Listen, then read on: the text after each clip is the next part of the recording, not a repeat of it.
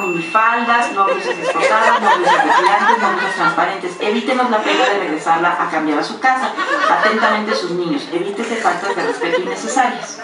Y Fausto decías que a raíz de eso, mucha gente, muchas mujeres empezaron a protestar. Sí, claro. Decían, oye, yo puedo ir a la escuela como se me dé la gana, yo me puedo vestir como yo quiera. No, señoras, no tienen derecho. Una por sus niños a recogerlos al fútbol, sí, en este vestidazo, y pues las mamás empezaron a irle encima. Ahí no le dijeron, ahí las autoridades de la escuela no le dijeron, venga a recoger a sus hijos de una manera apropiada.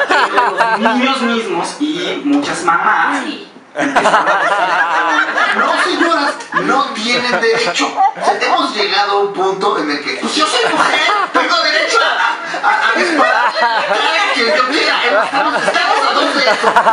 Yo soy mujer, tengo derecho a, a enrollarme los maderos con mi. ¿Me entienden? Ya, eso ya no es feminismo, eso ya es estupidismo. Se supone que cualquier persona normal, cualquier padre o madre de familia normal, su vínculo afectivo número uno, es decir, la persona que más quiere en este mundo,